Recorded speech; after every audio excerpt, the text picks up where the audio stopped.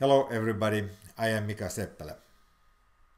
In this introductory video, I will discuss areas of domains and the definite integral. Consider the problem of determining the area of the yellow domain shown in this figure. It is the domain under the graph of a function f that takes positive values and over the interval from a to b. We do not have a direct formula for the computation of the area of this yellow domain, so what we may do is to approximate this domain by rectangles.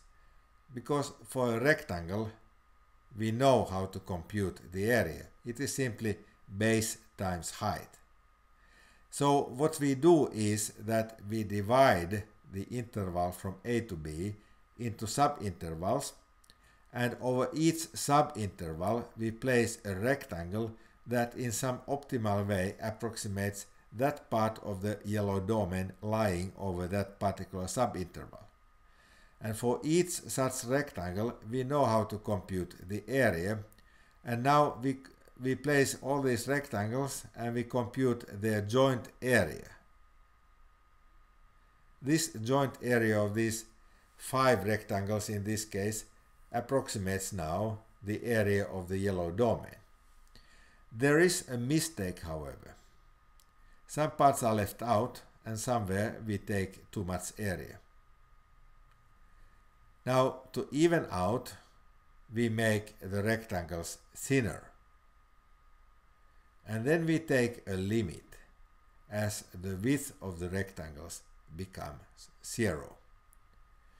So we compute the combined area of the rectangles shown in this picture and then we let the width of this rectangle approach zero and at the limit we get something which is called the definite integral of the function f over the interval from a to b. That is denoted by this symbol which uh, looks like a rather strange capital case S letter. It is read integral from a to b f of x dx and that integral is the limit of the combined areas of these rectangles shown here as the widths of these rectangles approach zero. Pretty complicated. Is the area of the yellow domain. So the area of this domain under the graph of the function f and over the interval from a to b is simply the definite integral from a to b of f of x dx.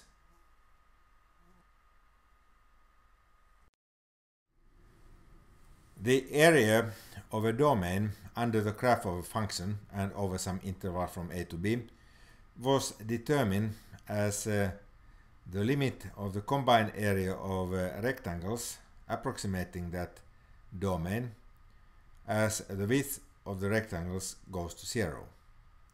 That led to the concept of the definite integral and a basic task in calculus is to figure out methods to compute definite integrals. A closely related problem is the de determination of the area of a disk of radius r. You may know, of course, that this area is pi times r squared, but pretend for a moment that you do not know this formula and we have to find this formula out. How to do that? We imitate the process as the one we used uh, to compute the area of a domain under the graph of a function. We approximate the disk by some regular shape for which we can compute the area and then we make this approximation better and take a limit. In this case the regular shape that we use is a regular polygon. We approximate the disk of radius r by a regular polygon as shown in this picture. Now this polygon has some number n sides, in this case n is 8, but uh, n can be any positive integer. And uh, to compute the area of this n-gon, we decompose this n-gon into triangles as shown here. So we join each vertex of the polygon to the center of this disk, which is also the center of the polygon. Hence we have n congruent triangles, in this case 8 congruent triangles, each one of them has the same area. And now we compute the area of one such triangle and then we multiply that by the number of triangles. In the case of an n-gon, this angle of uh, one of these triangles with vertex at the center of the this uh, disk is of size 2 times pi divided by n. This is by the definition of the mathematical constant pi and by the way we measure angles in radians. This angle indicated here in this picture has the size 2 times pi divided by n in radians. Now to compute the area of one of these triangles, we drop a perpendicular from the center of the disk to the base of the triangle. This perpendicular splits this angle into two halves and uh, one half of this angle is the angle indicated here that is pi over n.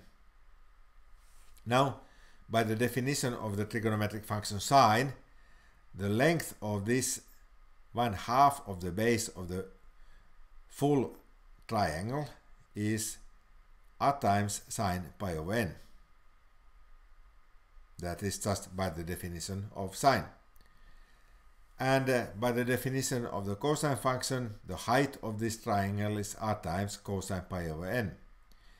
Now r times sine pi over n is half of the length of the base of the full triangle the area of a triangle is 1 half times base times height. So it is 1 half times 2 times r, time, r times sine pi over n times r times cosine pi over n.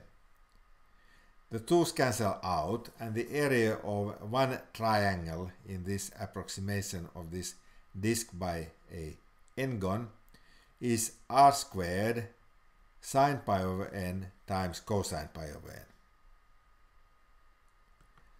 Now there are n such triangles.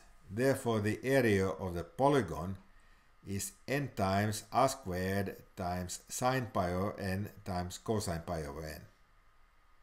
And then we let n go to the infinity and at the limit we get the area of the disk. This is how the area of a disk can be computed. We will later develop methods to compute that the limit as n goes to the infinity of n times r squared times sine pi over n times cosine pi over n is pi times r squared.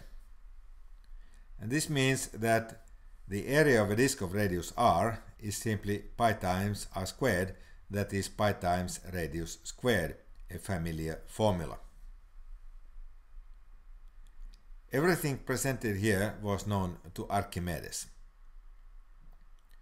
Archimedes was a Greek mathematician and physicist. He lived in Syracuse, which now is part of Italy. It's a town in Sicily. Archimedes invented integration to compute areas of domains and the graphs of functions. His invention was forgotten and integration had to be reinvented about 1800 years later. Archimedes had the serious handicap that he did not have the notion of functions at his disposal. That probably made his writings very difficult to read and contributed to the fact that uh, his methods and his ideas were forgotten. This photograph of a painting by Fetti shows an imaginary image of Archimedes. The painting was painted in 1620. The Fields Medal is the most prestigious recognition that a mathematician can get. The International Mathematics Union gives out Fields medals every four years. Therefore, the Fields Medal is even more prestigious than the Nobel Prize, which is given out every year. And the International Mathematical Union chose the portrait of Archimedes on one side of the Fields Medal. That uh, is simply to underline the importance of Archimedes, probably one of the greatest mathematicians and physicists of all times.